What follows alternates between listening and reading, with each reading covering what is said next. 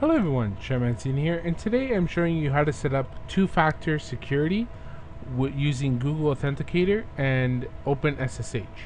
Now, uh, I've discussed in the past the many advantages of two-factor security. Uh, two-factor security is becoming the new uh, wave of the passwords. Instead of the traditional username and a static password, uh, the security industry is going towards two factors. So something that you know and then something that you have.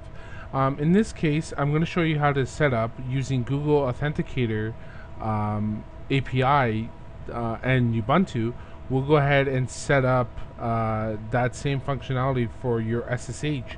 So um, it adds a, an additional layer of security.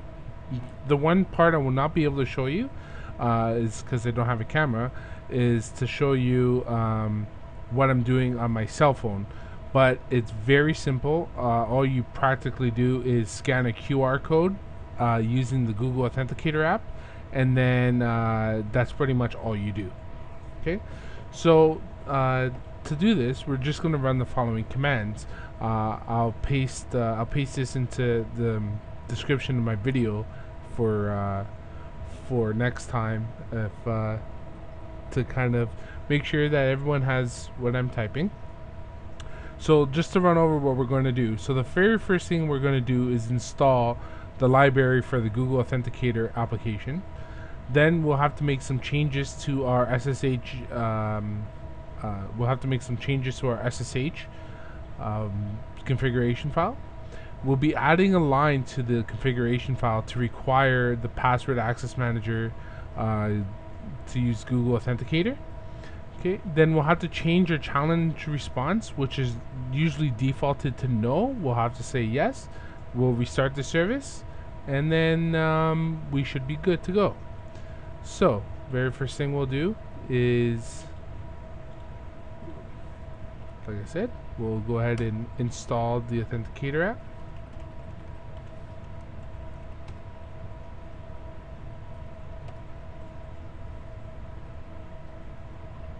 So after that we're gonna go ahead and edit our SSH file.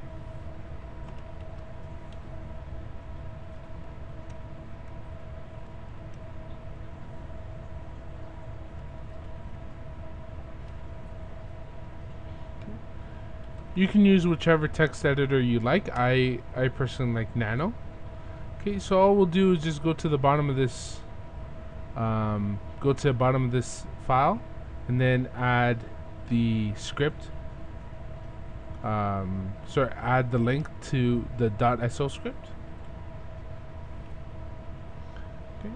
go ahead control O to save that and then control X to leave that. Now we'll go to our SSHD um, config which is in the etc directory and then under SSH and then there will be an SSHD config. Okay so sudo nano SSHD config. And now let's look through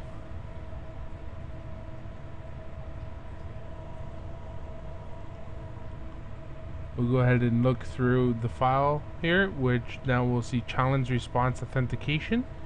Okay we want to set this to yes.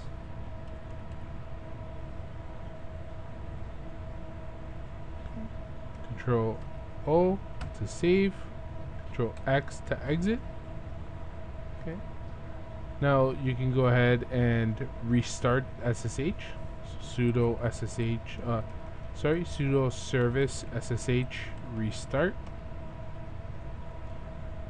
Now uh, we can type in sudo Google Authenticator.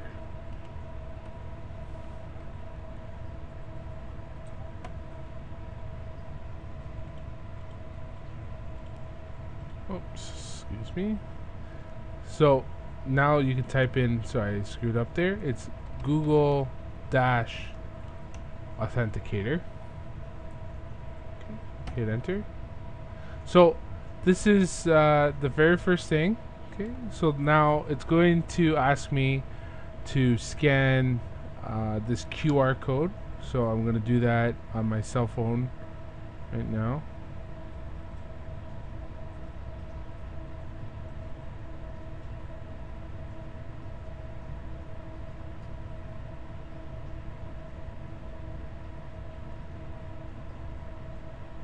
Just give me a moment while I find the app.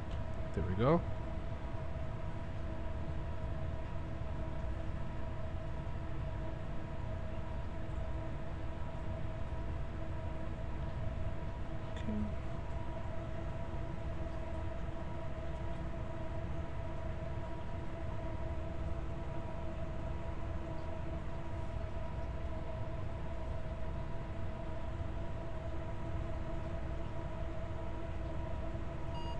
Okay. So now, once uh, you have that installed or scanned, you'll have a uh, a six-digit code. Okay, and uh, or from here, you're gonna see your emergency codes. You definitely want to save this. So I usually just copy this like that, and then I will paste it.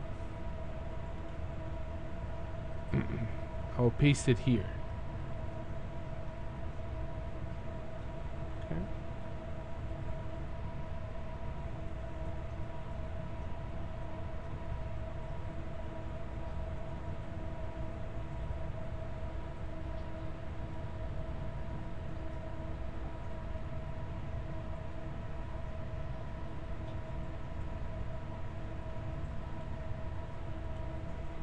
Okay, so now once you paste uh, the info, you're gonna have uh, some uh, some questions.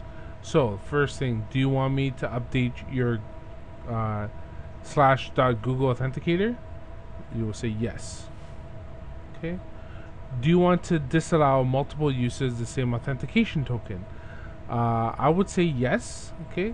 Um, basically. Uh, this will allow one the code to be used only once within a 30 second window. Okay. Now we want a time offset. So uh, basically what we'll do is uh, you have about one minute and 30 seconds for these codes uh, to uh, expire. So you can bump that up to four minutes. Uh, it's a bit less, uh, a bit less um, uh, secure because you're not uh, your code is uh, your code is valid a bit longer, but it's it's good on the functionality side. So just say yes. Okay. And do we want to enable rate limiting? So uh, attackers can only try to log in three times every 30 seconds. So say yes. And there we go. We're set up now. So now what we do is uh, we can log back into our server and once you see uh, log into your server you're going to see uh, then ask for the verification code. Okay. so I hope this you found this video informative. If you have any questions or comments please do leave them in the video description below. And as always please visit my website www.seanmancini.com thank you very much for watching everyone